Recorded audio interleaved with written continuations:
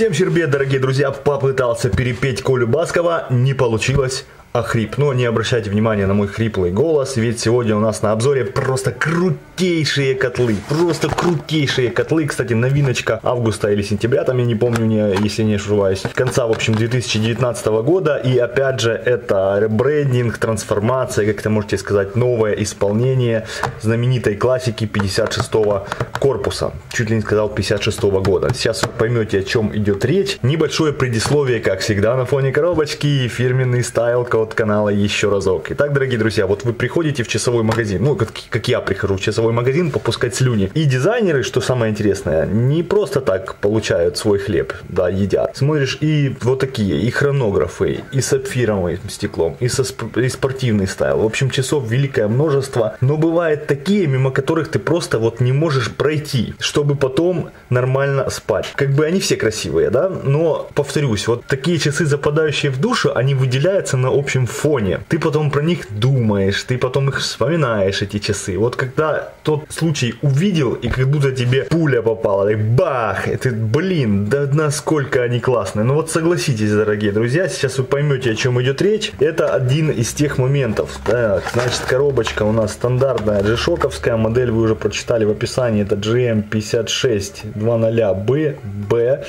ЕР это значит европейский регион, здесь могут быть другие буквы, но это не столь важно.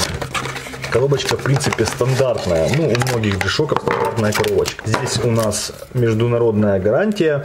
То есть, если вы, в принципе, будете узником замка Ивка, граф Монте-Кристо, 14 лет сидеть в тюрьме, то, э, если сядет батарейка на ваших часах, вы в определенный момент можете предъявить эту карточку охраннику, и он вам обязан бесплатно поменять эту батарейку. Стандартная, опять же, шестигранная жестяная баночка, очень прикольная. И вот вспоминаем мое предисловие, которое я только что рассказывал. Та-да! Вот просто круто тень. Вот, ребятки, знаете, вот этот сатинированный безель, полированные грани.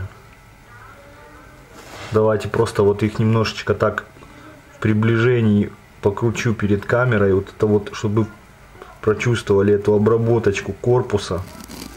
Все эти вещи. Это, кстати, нержавеющая сталь, это не хромированный пластик, который любит Casio делать более там какие-то дешевые модельки.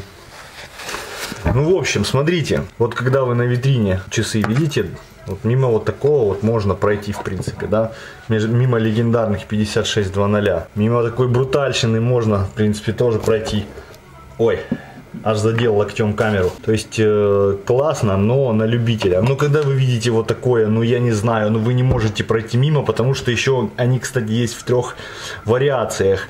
Вот это стальные, есть такие же только с черным IP покрытием или PVD покрытием, ну не столь важно. В общем, черные полностью. Вообще brutal, brutal, blackout.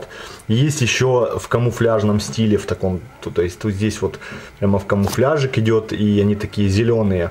Ну, ребятки, моделька крайне удачная, сейчас расскажу о ее там плюсах, минусах, всех делах. Небольшая предыстория, как вы уже знаете, наверное, ну для тех, кто не знает. Вот эта вот моделька, это базовый G-Shock в 56 корпусе, который повторяет, в принципе, самую первую модель, выпущенную в 83 году, DW5000. Но он не обладает какими-либо функциями, да, ну, ребятки, самая самая удачная, наверное, форма корпуса, которая штампуется с 83 -го года в супер цветовых каких-то там э, в немыслимых вариантах. Вот коллаборация недавно с группой Гориллас была в этом корпусе, который G-Shock вышел. Потом они на 35-летие выпустили полностью стальные часы там с блютузом, с радиосинхронизацией, с питанием солнечной батареи, со всеми делами. Но они там стоят как бы недешево совсем, там 400-500 долларов, точно не скажу. Нету под рукой компьютера, но как бы дорогие джишоки, стальные, супер красивые. И вот это вариант, это некий компромисс между пластиком и полностью стальными джишоками на браслете. То есть что сделали Casio? Что джишок практически всегда представлял из себя определенный сэндвич это модульная конструкция, верхняя вот эта часть это по сути накладка, потом идет корпус, это круглое пластиковое или металлическое кольцо и стальная задняя крышка. Она может быть титановая, то есть это бутерброд, который способствует их неубиваемости и удара прочности. Кстати, первые модели в стали Casio G Steel, по-моему, тоже корпус у них оставался пластиковым, только верхняя вот эта броневая накладка бронированная, безель была металлическая. Но могу ошибаться. Э, в чем заключается компромисс? В том, что тут тоже идет сэндвич. Они не полностью металлические. Здесь идет сама основа, сам корпус идет из прочного пластика, сверху идет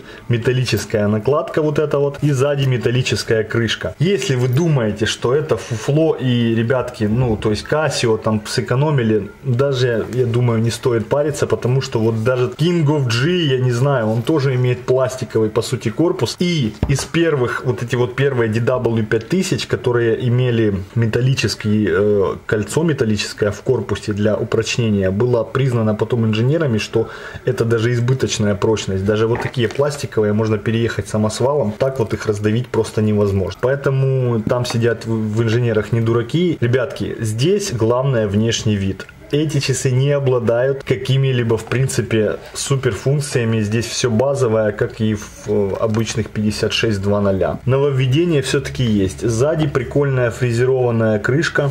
Давайте я вам покажу, чем она отличается от, от обычной штамповки вот этой вот. Видите, да? Она довольно тоже интересно так смотрится быстросъемные ремешки. Обратите внимание, вот тут мы видим специальный такой шпингалет, потянув за который вы можете просто быстро поменять ремешок.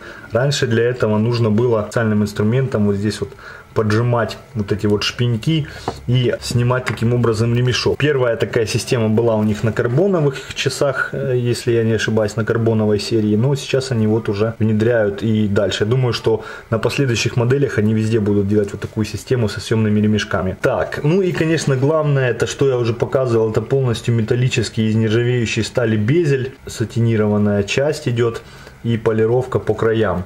Смотрятся действительно бомбейские и учитывая, что инверсный дисплей, то есть полностью черный, конечно читаемость, вот вы видите, читаемость здесь не на высоте. Но если вы покупаете часы с инверсным дисплеем, вот давайте сравним по читаемости, да, то вы платите за стиль, конечно, читаемость. Из функций здесь все в принципе стандартное. Это будильник, таймер, секундомер и все.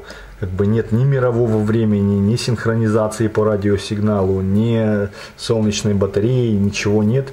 Есть очень прикольная люминесцентная подсветка такого зеленого цвета, причем автоподсветки я здесь не нашел функции, может быть она и есть, но где-то хитро запрятана. Но если мы нажимаем и держим кнопку, то подсветка горит столько, сколько мы держим кнопку. По настройкам здесь все супер просто. Мы нажимаем кнопочку Adjust, это левая верхняя кнопка. У вас замигали секунды, потом кнопочкой моды мы меняем минуты, часы, вернее минуты, там год, месяц, число и опять настраиваем секунды. То есть это в принципе классический набор функций электронных часов. Главное, как я и говорил, это супер внешний вид. Давайте прикинем на руку